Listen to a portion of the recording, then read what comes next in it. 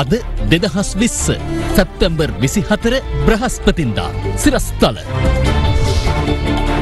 මාතර හෝටලයක රැඳී සිටි රුසියානු ජාතිකයෙකුට කොවිඩ් ආස්ට්‍රේතයින් එකසිය පණහක් නිරෝධායනයට.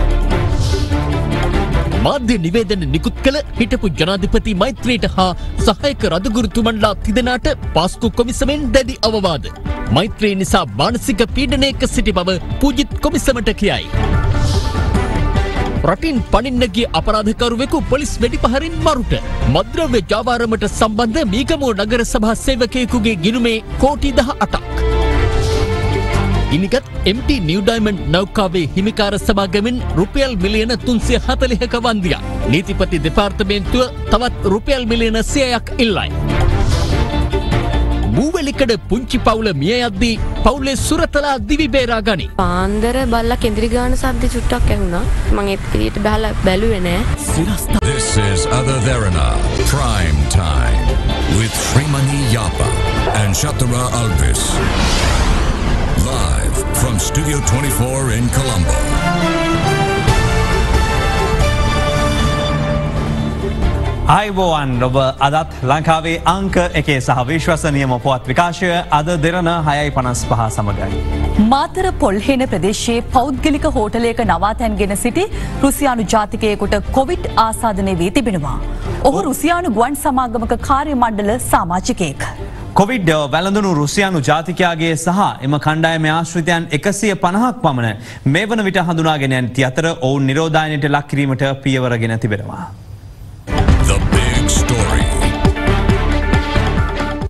මෙම රුසියානු ජාතික ගුවන් කාර්යමණ්ඩලයේ සමාජිකයා ඇතුළු පහළොස් දෙනෙකු පසුගිය දහතුන් වනදා මත්තල ජාත්‍යන්තර ගුවන් තොටුපලින් මෙරටට පැමිණ තිබෙනවා. එහිදී PCR පරීක්ෂණ සිදු කර ඇති අතර කිසිදු පුද්ගලයෙකුට කොවිඩ් ආසාදනය වී නොමැති බවට එහිදී හඳුනාගෙනුණා. ඒ අනුව එම කණ්ඩායම නවතන් ගැනීම සඳහා පැමිණ ඇත්තේ මාතර පොල්හේන ප්‍රදේශයේ හෝටලයකටයි. එම හෝටලේ නවතන්ගෙන සිටින අතරවාරයේ මෙම රුසියානු කණ්ඩායම පෞද්ගලික රෝහලකින් දෙවැනි PCR පරීක්ෂණය සිදු කර ඇති අතර එහිදී එක් අයෙක් කොවිඩ් ආසාදිතයෙක් බවට හඳුනාගෙනුණා. ඒ අනුව ඊයේ රාත්‍රී මාතර සෞඛ්‍ය වෛද්‍ය නිලධාරී කාර්යාලයේ නිලධාරීන් එම හෝටලයට පැමිණ ආසාදිතයා පරීක්ෂාවට ලක් කළා. දැනට අපු ආසාධිත පුද්ගලයා අපි හම්බන්තොට රෝහලට යොමු කරනවා.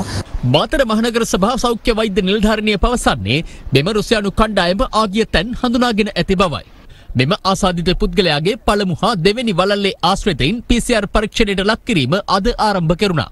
කාර්ය මණ්ඩලය හා අනිකුත් කන්ටැක්ස්ලා ඒ සියල්ලම අපි මේ වෙනකොට හඳුනාගෙන ඒ සියල්ලම PCR පරීක්ෂණ වලට භාජනය කළා නිරෝධායනයට යොමු කරමින් පවතිනවා. ඇත්තටම ත්‍රිරෝධ රථයකින් ප්‍රදේශයේ තියෙන සුපිරි වෙළඳසැල් දෙකකට සංචාරය කරපු දෙයක් තමයි අපිට දැනගන්නට ලැබුණේ.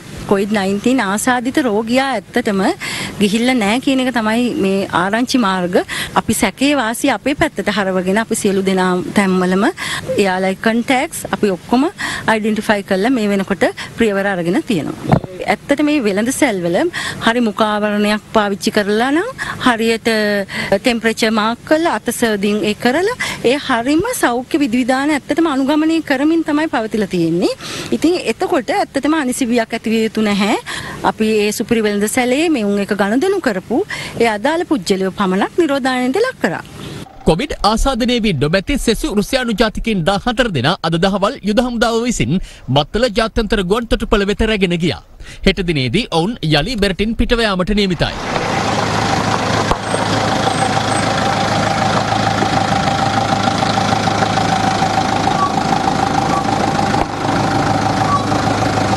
මේ හෝටලය තුළ මේ කාර්යමණ්ඩලය වාසය කරලා තියෙන සාමාන්‍ය සංචාරකයන් විදිහට මේ හෝටලයට යන බවත් ඒ ප්‍රදේශයේ බාර සෞඛ්‍ය අධිකාරීන් හෝ මහජන සෞඛ්‍ය පරීක්ෂකවරුන් දැනගෙන ඉඳලා නැහැ. ඒ වගේම සත්‍ය තොරතුරු මේ පුද්ගලයන් පවසන්නේ නැහැ. මේක ඊටාම ගැටලුකාරී තත්ත්වයක් වෙලා තියෙනවා මේ වෙද්දි.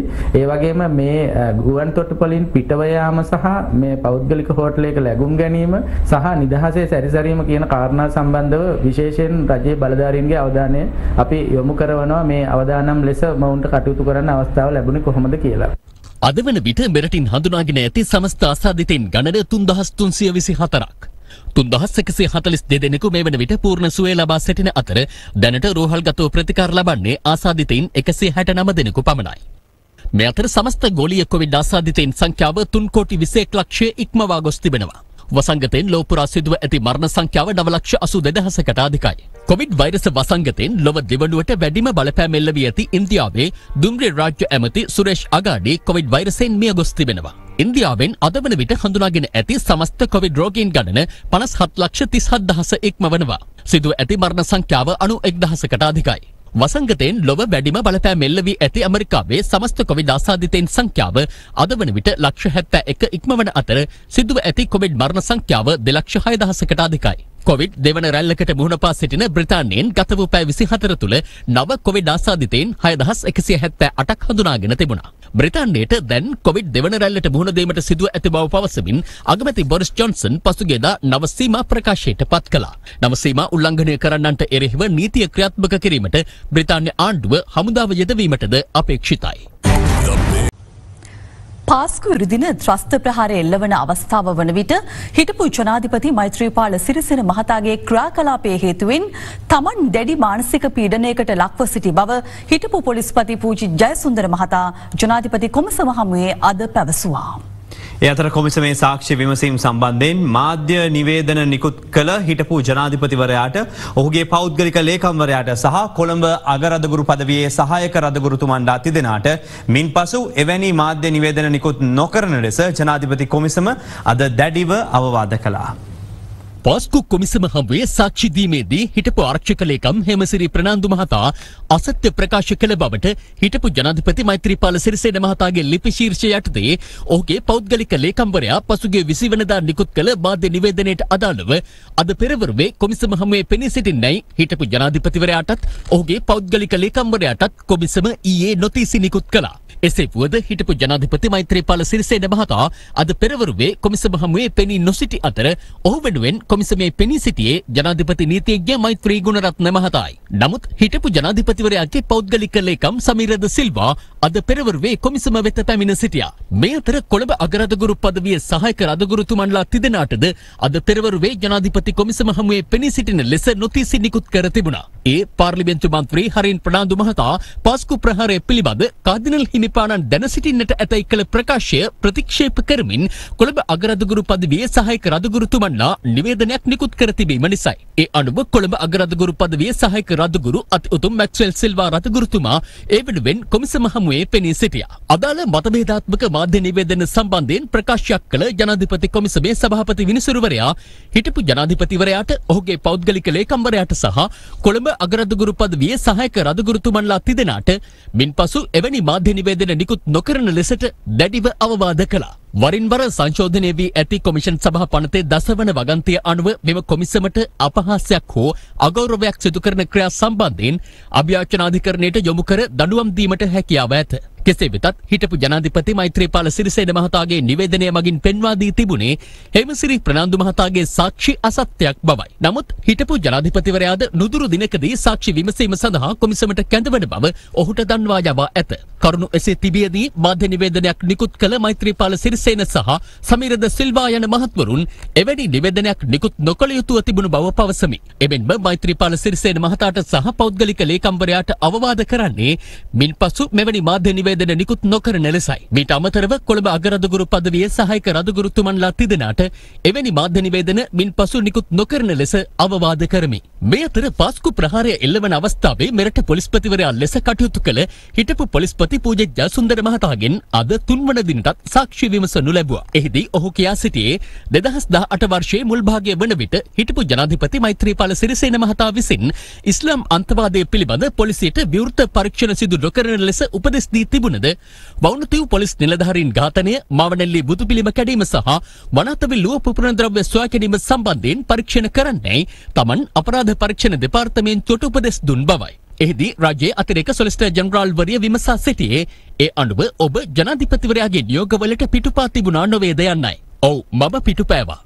ඇතිව තිබූ තත්ත්වය මත මම ගොඩක් අසරණ වෙලා හිටි. මොකද මම මගේ ජේෂ්ඨ නිලධාරීන්ට කියන්නද ජනාධිපතිවරයා මෙහෙම උපදෙස් දුන්නා කියලා. ඒ නිසා කිසිම කෙනෙක්ගෙන් උපදෙස් ගන්නත් බෑ.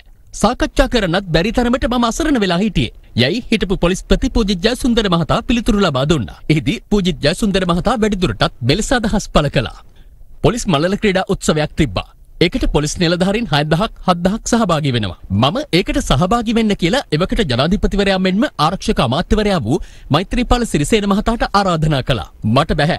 මට බණ්ඩාරවල යන්න තියෙනවා. ලේකම්තුමා එක්ක කතා කරගන්න කිව්වා. පස්සේ මම ආරක්ෂක ලේකම්තුමාට කතා කළා. එතුමාත් මුලදී අදිමදි කරලා අන්තිමට උත්සවයට ආවේ පරක්කු වෙලා. පස්සේ එදා උත්සවයේ දවසේ ආරක්ෂක ලේකම්තුමාට කෝල් එකක් ආවා. එතුමා මට කිව්වා ජනාධිපතිතුමා දැන් කතා කරයි කියලා. පස්සේ මටත් කෝල් එකක් ආවා. තමුසේ කාගෙන් අහලා දවුව කරන්නේ? තමුසේ කොහොමද ඔච්චර නිලධාරීන් ගෙන්නලා ලව්ව කරන්නේ? ඔය මොකද්ද? කියලා ජනාධිපතිතුමා මගෙන් ඇහුවා. මම කිව්වා සර් පොලිස් මලල ක්‍රීඩා උළෙල කියලා. තමුසේ කාත් එක්කද ඕවා තියන්නේ කියලා ඇහුවා. සර් මම ලේකම්තුමාට කිව්වා කියලා පිළිතුරු දුන්නා. කොහොමද ලේකම් ගෙන්න ගන්නේ? ඇයි තමුසේ දන්නේ නැද්ද මට කියන්න ඕන කියලා? යයි ගොඩක් කේන්තියෙන් මගෙන් ප්‍රශ්න කළා. මම සමාවෙන්න සර්. මම සර්ට ආරාධනා කළානේ. සර් බැහැයි කියපු නිසානේ පරක්කු වෙලා හරි ආරක්ෂක ලේකම්තුමාව ගෙන්න ගත්තේ කියලා බොහොම හෙමින් පිළිතුරු දුන්නා. කෙහෙල් බල. කොහෙද මට කිව්වේ? මම බලා ගන්නම්කෝ ලේකම්තුමා එක්ක. තමුස කරගන්නවා කෝවා. කියලා ජනාධිපතිතුමා ෆෝන් එක කට් කළා. යයි පූජ්‍ය ජයසුන්දර මහතා සාක්ෂි ලබා දුන්නා. ඔහු කොමිසම හමුවේ වැඩිදුරටත් සාක්ෂි දෙමින් කියා සිටියේ මෙවැනි සිදුවීම් නිසා මම පුදුමාකාර මානසික පීඩනයකින් ස්වාමීනි හිටියේ. මට කාටවත් කියාගන්න විදිහක් තිබුණේ නැහැ. පාස්කු ප්‍රහාරයේ එල්ල වෙලා ජනාධිපතිවරයා මේකට වග කියන්න ඕනේ පොලිස්පති ආරක්ෂක ලේකමුයි කියද්දි. ඒක දිගින් දිගටම මාධ්‍ය ඔස්සේ ප්‍රචාරය වෙද්දිත් මම මාධ්‍යයට මුකුත් කිව්වේ නැහැ. අඩුම තරමේ පොලිස් මාධ්‍ය ප්‍රකාශ කළවාවත් මම මුකුත් කිව්වේ නැහැ. මොකද ඔහු රටේ විදායක ජනාධිපතිවරයා වගේම මගේ අමාත්‍යංශය භාර අමාත්‍යවරයා නිසා. විනයානුකූල නිලධාරියෙක් ලෙස මම කිසිම ප්‍රකාශයක් කළේ නැහැ. පළමු පාරට කතා කළේ පාර්ලිමේන්තු තේරීම්කාරක සභාවේදී. ඒත් අවසරය ඇතුව යයි පැවසූ හිටපු පොලිස්පතිවරයා ජනාධිපති කොමිසම හමුවේ හැඟීම් බර වුණා. අනතුරුව පුදික් ජයසුන්දර මහතා මෙලෙස අදහස් පළ කළා. පාස්කු ප්‍රහාරය සම්බන්ධයෙන් මේ කොමිසම මේ වෙද්දි යම් කරුණු අනාවරණයක් කරගෙන තිබුණත් හෙළිදරව් නොවූ බොහෝ කරුණු තියෙනවා මා සතුව කියන්න. මෙච්චර ප්‍රහාරයක් වෙලා මෙච්චර විනාශයක් වෙලා තියෙද්දිත් රටේ ප්‍රධානියා කිව්වේ මොකද්ද? මම දන්නේ නැහැ. මට කිව්වේ නැහැ. මම වග කියන්නෙත් නැහැ. වග කියන්න ඕනේ පොලිස්පති ආරක්ෂක ලේකම් කියලා. ඉතිහාසයේ කිසිම අවස්ථාවක බුද්ධි තොරතුරු ගැන පොලිස්පති ජනාධිපති දැනුවත් කිරීමේ සම්ප්‍රදායක් තිබිලා නැහැ. ඊළඟට බුද්ධ්‍යංශය මෙතන සාක්ෂි දෙද්දි මම හිටියානේ. එයා කිව්වා රාජ්‍ය බුද්ධ්‍යංශයට නිලධාරීන් මදි පහසුකම් මදි. නමුත් ආරක්ෂක මාත්‍යාංශයෙන් සම්පූර්ණ පහසුකම් වරප්‍රසාද ලැබුණේ රාජ්‍ය බුද්ධ්‍යංශයට. අනිත් අයට වඩා පඩි වැඩි උනේත් එයාලට. නමුත් එක විශේෂ ක්ෂේත්‍රයයි ආවරණය කරන්න තිබ්බේ. ආරක්ෂක අමාත්‍යාංශය කොයිතරම්නම් රාජ්‍ය බුද්ධ සේවයට රහසිගතව මුදල් දෙනවද? විගණනයකටවත් ලක් වෙන්නේ නැහැ. කිසිම සීමාවක් නැහැ. යනුවෙන් ඒ මහතා සාක්ෂි දුන්නා. මේ අතර පසුගිය ආණ්ඩු සමයේ ආරක්ෂක රාජ්‍ය අමාත්‍යවරයා ලෙස කටයුතු කළ රුවන් විජේවර්ධන මහතා අද පස්වරුවේ පාස්කු කොමිසමට සාක්ෂි ලබා දීම සඳහා පැමිණියා. ගොනා කෝවිලේ රොහා නම් සංවිධානාත්මක අපරාධ කලි නායකයා අද පොලිසිය සමඟ සිදු වෙඩි හුවමාරුවකදී ජීවිතක්ෂයට පත් වනා. ඒ ට්‍රෝල යාත්‍රාවකින් ඉන්දියාවට පලායාමට මීගම කොච්චි කඩේ ප්‍රදේශයට පැමිණ සිටි අවස්ථාවක. කෙසේ වෙතත් සිද්ධිය වන අවස්ථාවේ රොහා සමග සිටි දෙදෙනෙකු පැනගොස් ඇති බව පොලිසිය පවසනවා.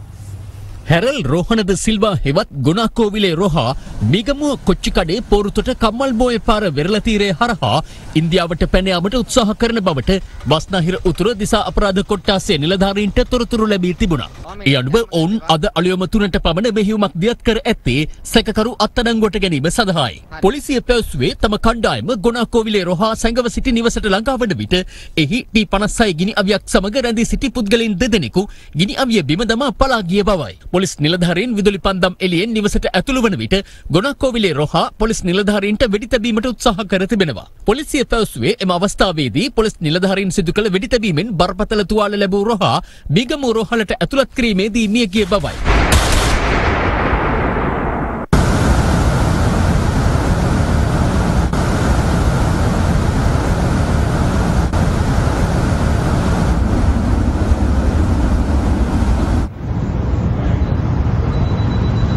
අද දහවල් ස්ථානීය පරීක්ෂණය මීගමු මහිස්ත්‍රාත්වරයා විසින් සිදු කළා.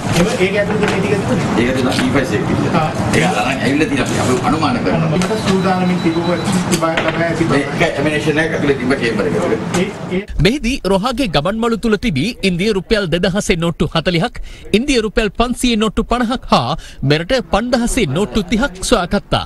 පොලිසිය පැවසුවේ ඔහුගේ රිවෝල්වරය හා ටී පනස්සය ගිනි අවියක්ද මෙහිදී සොයාගත් බවයි.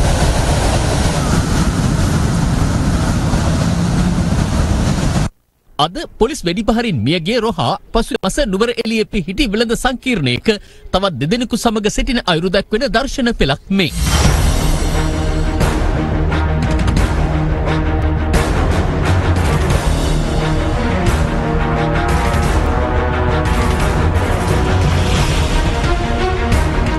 මෙම පුද්ගලයා විසින් දෙදහස් දහසේදී කුරුණෑගල මාස්පොත ප්‍රදේශයේදී පොලිස් නිලධානින් දෙදෙනෙකුට වෙඩි තබා එක් අයෙකු ඝාතනය කිරීමේ සිද්ධියේ ප්‍රධාන සැකකරුවායි. එමෙන්ම ලන්සියා නම් අපරාධකල්ලි සමාජිකයා ඝාතනය කිරීම ඇතුළු ඝාතන කිහිපයකටද මොහු පොලිසියට අවශ්‍යව සිටි අයෙක්. මෙම ලන්සියා නම් අපරාධකල්ලි සමාජිකයා ඝාතනය කිරීමත් සමග මොහුගේ ප්‍රධානතම ප්‍රතිවාදයා වූයේ ලන්සියාගේ සහෝදරයා වූ අමල් සිංහාරා හෙවත් කුඩු අංජුයි.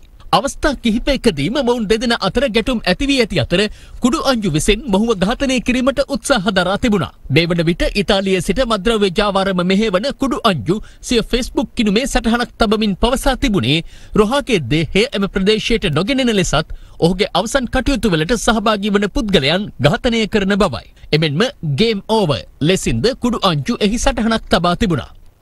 මේ අතර කුඩු අංචුගේ හා ධර්මයගේ හෙරොයින් ජාවාරමේ මුදල් ගනුදෙනු කළ පුද්ගලයින් දෙදෙනෙකු බස්නාහිර දකුණ අපරාධ විමර්ශන කොට්ටාසේ විසින් ඊයේ අත්අඩංගුවට ගත්තා. ඒ මීගමුව බෝලවලාන හා කටුනායක කුරණ යන ප්‍රදේශවලදී. මොවුන් දෙදෙනගෙන් එක් අයෙක් මීගමු නගර සභාවේ සේවකයෙකු වන අතර අනෙක් පුද්ගලයා වාහන අමතර කොටස් සලවි කරන්නෙක්. මොවුන් දෙදෙනාගේ ගිනුම්වල පසුගිය මාස 6ක කාලය තුල රුපියල් ලක්ෂ 4000කට අධික මුදලක් සංසරණය වී ඇති බව පොලිසිය පවසනවා. මෙහිදී අත්අඩංගුවට පත් මීගමු නගර සභා සේවකයාගේ ගිණුමේ තිබී රුපියල් කෝටි 18කට අධික මුදලක් මෙම කාලවකවානුව තුලද හුවමාරු වී තිබෙනවා. පොලිසිය පැවසුවේ අනෙක් පුද්ගලයාගේ ගිණුමේ රුපියල් කෝටි 4කට අධික මුදලක් සංසරණය වී ඇති බවයි. මොවුන් දෙදෙනා විසින් තම ගිණුම් වලට මුදල් බැර වූ පසුව අන්තර්ජාලය හරහා විවිධ පුද්ගලයන්ට ලබා දෙන බව පොලිස් පරීක්ෂණවලදී අනාවරණ වී තිබෙනවා. මොවුන් දෙදෙනාව අත්අඩංගුවට ගනු ලැබුවේ පසුගිය මැයි මාස අත්අඩංගුවටගත් මද්‍රව්‍ය ජාවාරම්කරුවෙකුගෙන් සිදු කළ ප්‍රශ්න කිරීම වලින් අනතුරුවයි. මේ අතර විදෙස්ගතව සිටින අපරාධකල්ලි සමාජිකයෙකු වන පූගුඩි කන්නා නම් පුද්ගලයාගේ සමීපතමයෙකු වන කුඩුලාල් අද පොලිස් විශේෂකාරය බලකා සංවිධානාත්මක අපරාධ වර්ධන ඒකකයේ විසින් අත්අඩංගුවට ගෙන තිබෙනවා. එහිදී සැකකරු සතු තිබී හෙරොයින් ග්‍රෑම් විසි හතක් අයිස්ක්‍රෑම් අටක් රුපියල් දසලක්ෂ පනස් දහසක් රුපියල් ලක්ෂ පහළවකට අධික රත්‍රම් භාණ්ඩ තොගයක්ද සොයාගත්තා. මේ අතර එක්දස් නමසය අනු අටේදී හෙරොයින් ග්‍රම් එකසිය හයක් සන්තකයේ තබාගෙන ජාවරම් කිරීමේ චෝදනාව යටතේ වරදකරු වූ මාළු වෙළෙන්දකුට අද කොළඹ මහාධිකරණය මරණීය දණ්ඩනය නියම කළා.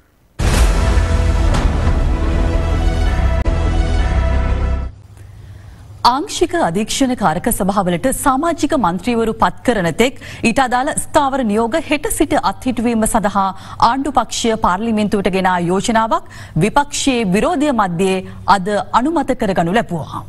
එ අනුව අද අත්හිට වූ එම ස්ථාවර නියෝග හේතුවෙන් ආංශික අධීක්ෂණ කාරක සභා සඳහා සමාජිකෙන් පත් කිරීමත් නව පනත් කෙටුම් පත් පාර්ලිමේන්තුර ඉදිරිපත් කිරීමෙන් පසු එම කාරක සභාවත යොමු කිරීමත් වැලකී යනවා.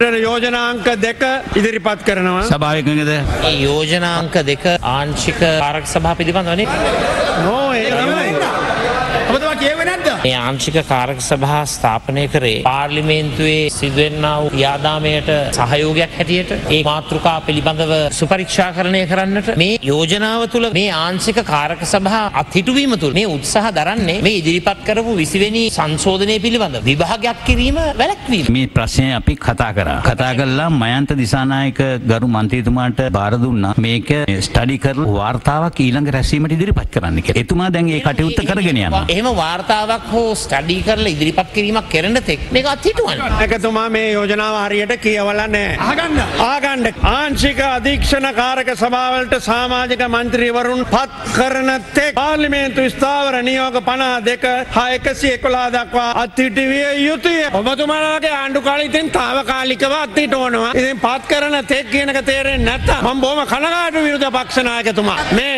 පත් කරන්න පුළුවන් පස්සේ ඕන්නම්. මම ඒ යෝජනාවත් හොඳට කියෙව්වා එතුමා ඔබතුමාගේ තීන්දුව හොර රහසේ කියවන එකත් මං හොඳට බලාගෙන හිටිය.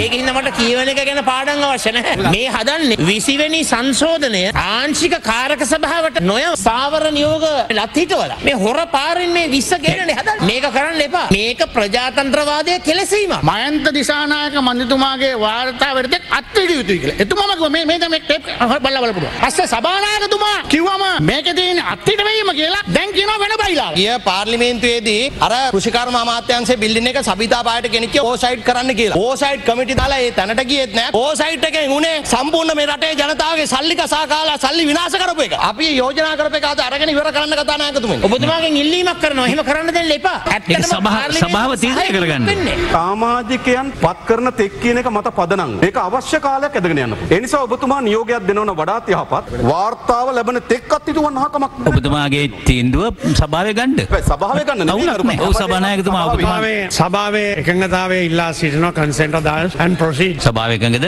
එකඟයි එකඟයි.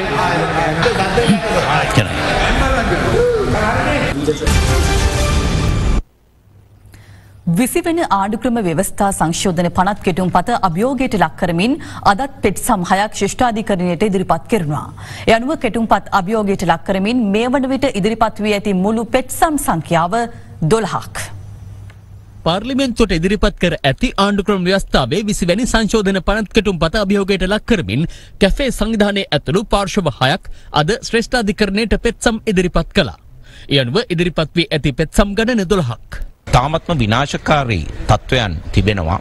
මේ කරුණු අපි පෙත්සම් මගෙන් ඉදිරිපත් කරා මේ සමහර ප්‍රතිපාදනයන්ට ජනමත විචාරණයකින් ජනතාවගේ අනුමැතිය ලබා ගැනීමට අවශ්‍යයි කියන තීන්දුව අපිට ලබා ගන්නට පුළුවන් වෙයි කියලා. අපි අහනවා රජයෙන් ඇමති මණ්ඩලේ වැඩි කරලා ඒ සියලු බර ජනතාවගේ කරමත පටවන් ඔය හැටනම ලක්ෂයෙන් එක්කෙනෙක්වත් ඉල්ලුවද කියලා අපි රජයෙන් අහන්ටෝ. ඒ වගේම 19 වෙනි සංශෝධනයෙන් ගෙනාපු විගණනයයි ප්‍රසම්පාදනයයි පැත්තකට විසි කරන්න කියලා ඔය හැටනම ලක්ෂය ඉල්ලුවද කියලා අපි රජයෙන් අහනවා. මේ ආණ්ඩුවේ ප්‍රතිරෝපය විනාශ වෙන රට අනතුරට පත්වෙන කරුණු තුනක් පළවෙනි එක තමයි හදිසි පනත් සම්මත කිරීමට අවස්ථාව ලබා ගැනීම. හදිසි දෙවෙනි කාරණේ තමයි දුත්ත පුරවැසි භාවය පිළිබඳ ප්‍රශ්නේ. මහ බැංකු කොල්ලයෙන් පස්සේ විදේශීය පුරවැසියෙක් ඇවිල්ලා ඒ කරලා ගියපු විනාශයත් එක්ක සමාජයේ ප්‍රබල මතයක් තියෙනවා. තානාපතිවරුන්ටත් දුත්ත පුරවැසි භාවය තිබේ නම් අවස්ථාව ලබා නොදී යුතුයි කිය. තුන්වෙනි කාරණය තමයි රාජ්‍ය සමාගම් විගණනය කළ නොහැක කියන ප්‍රතිපාදනය ඇතුල් කරොත් මේ පරීක්ෂණ ඔක්කොම නවතිනවා. මේ ඔක්කොම පහුගිය යහපාලන රජයේ කාලේ කරපු වංචා. ඒතර පාර්ලිමේන්තුවේ මුදල් බලයට විශාල අභියෝගයක් සිද්ධ වෙනවා මේ වගන්තිය. මෙන්න මේ ප්‍රධාන සංශෝධන තුන සිදු කළ යුතුමයි. මේ විශ්ව තියෙන මහජනයාගේ අප්‍රසාදයට දක්වන කොටස අහක් කළා මේක සංශෝධනය කළ ඉදිරිපත් කරන්න කියලා අපි ඉල්ලා සිටියා. එනත් විශ්ව ගැන කතා කරදි ඇඟ හිරි වැටෙන. ද මේ ව්‍යවස්ථාව විශ්ව තිබිලා ගෝටාබේ රාජපක්ෂ මහන්තයන් පස්සේ වෙන කාටරි ගියොත් ඒ මිනිහා ෆුල් හොල්මන් ඩයල් එකක් වුණොත් එහෙම මොකක්ද වෙන්නේ ඒතර රටට? අපේ නිර්දේශ අපි ඉදිරිපත් කළා තියෙනවා. ඒකෙන් අපි කියන දේ විය යුතු කියලා හිතන හිතන ඒකාධිපති මානසිකත්වයක් අපේ කායයක්වත් නැහැ. අපි දකින විය යුතු කියලා දේ දකින අවසානයෙන් පාර්ලිමේන්තුවේ තුනෙන් දෙකක් විය යුතු කියලා හිතන දේ තමයි එදාට සිද්ධ වෙන්නේ. නීති කෙටුම්පත් සම්පාදක අතේ මගහැරුණු දේවල් තියෙනවනේ ඒක ශ්‍රේෂ්ඨාධිකරණය බලන එක හොඳ දෙයක්. මම ඇත්ත විපක්ෂයට සුබ පතනවා. ඒ අය ශ්‍රේෂ්ඨාධිකරණයට මේක යොමු කරලා මේකේ අඩුපාඩු හදන්න ශ්‍රේෂ්ඨාධිකරණ අවධානය යොමු කිරීම වල අපිට ඕනි හොඳ නීතියක්. විසිවිලි සංශෝධනයෙන් ජනතාවට මොකක්වත් හම්බෙන්නේ නැහැ. ජනතාවට නෙවෙයි. විස පාර්ලිමේන්තුව සඳහාද ඒත් නැහැ. පාර්ලිමේන්තුවේ මොකක්වත් හම්බ නැහැ. පාර්ලිමේන්තුවේ බලතල මේක උදුර ගන්නවා. විස ඇමති මණ්ඩලයට ඒත් නැහැ. ඇමති මණ්ඩලය රූපකඩ කරනවා. කාටද විස විස ජනාධිපතිට ගෝඨාභය රාජපක්ෂ මහත්තයා. අගමැතිටත් නෙවෙයි විස. අගමැතිවත් ආපහු අර පරණ සීල් එක බවට පත් කරනවා. කාරක පාර්ලිමේන්තු කාර්යසභාවේදී මේවා ඔබතුමාලා දක්වපු කරුණුත් එක්ක මේක සංශෝධනය කරගන්නට හැකියාව ලැබෙයිද? ඉතින් රටේ අගමැතිතුමානි කියන්නේ මේ ඒ ඒ කමිටුව එතුමා පත් කරපු කමිටුව ඒ කමිටුව දීපු නිර්දේශ ඒ නිර්දේශ පිළිබඳව සාකච්ඡා කරලා එතුමාත් අභිසදී ආව අවසාන නිගමන ඒ අවසාන වශයෙන් එකඟ වෙච්ච නිගමන ටික අනිවාර්යෙන් කාරක සභාව අවස්ථාවේදී ඉදිරිපත් කරන බව තමයි ගරු අග්‍රාමාත්‍යතුමා දැනටමත් ප්‍රසිද්ධියේ ප්‍රකාශ කළා තියෙන්නේ. බූ වැලිකඩ khedවාචකය රටම හඬවලා අවසන්. කෙසේ නමුත් කේදවාචකයෙන් මිය ගිය මේ පුංචි පවුලට ඔවුන් ඇති දැඩි කළ සුරතලා යම් අනතුරු ඇඟවීමක් කලාද. නිවසේ ජීවත් වූ ඥාතිදීනිය පවසන්නේ අලියම් කාලයේදී බ්‍රූනෝ නම් වූ මේ සුනකයා අසාමාන්‍ය හඬ නැගීම් සිදු කළ බවයි. බූවලිකඩ සංගමිත්තා මාවතේ පස්මහල් නිවසක් ඊට පහලින් පිහිටි කුඩා හෝටලයක් සහිත නිවසක් බතට කඩා වැටීමෙන් අඹුසමි යුවලකට සහ ඔවුන්ගේ මාස එක හමාරක් වයසැති බිලිඳියට පසුගිය ඉරිදා සිය දිවි අහිමි වුණා. ඔවුන්ට එලෙස දිවි අහිමිවෙද්දී නිවසේ සිටි කාන්තාවන් දෙදෙනෙකුට හා නිවසේ සුනකයාට දිවි බේරා ගැනීමට හැකි වුණා. පාන්දර බල්ලා කෙඳිරි ගාන සද්ද චුට්ටක් ඇහුණා. ඒ ඇහිලා මේ මම අඩනින්ද වගේ හිටි මම මං ඒත් එළියට බහලා බැලුවේ නෑ. මල්ලි ඇවිල්ලා බලද්දි බල්ලා ගේට්ටුවෙන් මෙහාට එළියට එන්න බැරි නිසා ගේට්ටුව ගාව ගැහි ගැහි බිම ගුලි වෙලා වගේ ඉඳලා තියෙන බයෙන්. ඊට පස්සේ තමයි බිල්ඩිම කඩාගෙන වැටිච්ච සිද්ධිය වුනේ. සත්ව විද්‍යාඥයින් කරන ලද පරීක්ෂණවලදී තහවුරු වී ඇත්තේ ස්වභාවික විපත්වලට පෙර සතුන්ගේ චර්යා රටා වෙනස් වන බවයි. යට තියෙන පස්කන්ද ගලාගෙන පහත් වෙනකොට ඒවා එක පාට්ටම සිදුවනත් ඒවා බොහොම හිමින් හිමින් ගිහිල්ල එක පාට්ටම ලිස්සල යන සුරතත් තියෙන නිසා මේ බල්ලට සමහරලාට එක දැනෙන් ඇති පැහැදිලිවම තේරුම් ගණ්ඩෝන පොළොවේ පයගහලා ඉන්න ජීවීන් අතර බහුතරයකට මේ හැකියාව තියෙනවා. භූකම්පන ටොනෙඩෝ සුනාමි වැනි ස්වභාවික විපත්වලදී සුනකයින්ද ඊට ප්‍රතිචාර දැක්වූ බවට ලෝපුරා සිදු කරන ලද පර්යේෂණවලින් අනාවරණ වී තිබෙනවා. බ්‍රූනෝ නම් වූ මෙම සුනකයාගේ හැසිරීම් රටාවේ වෙනසක් අදත් දක්නට ලැබුණා.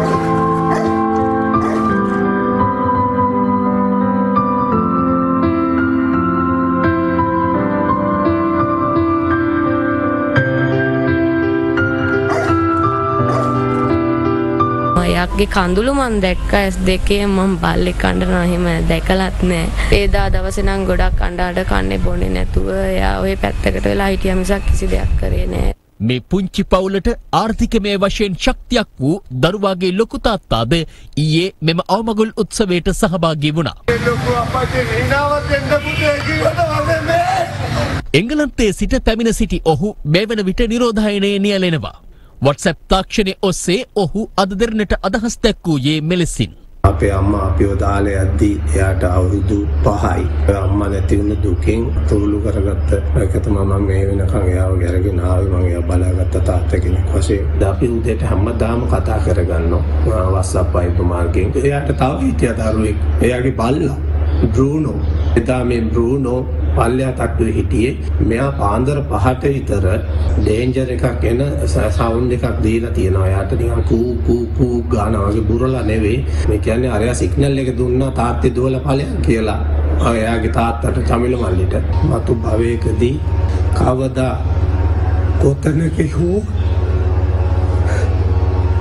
මගේම මල්ලි වෙලා අපි නැවත හම්බෙමු කියලා. දුරනෝ සරණ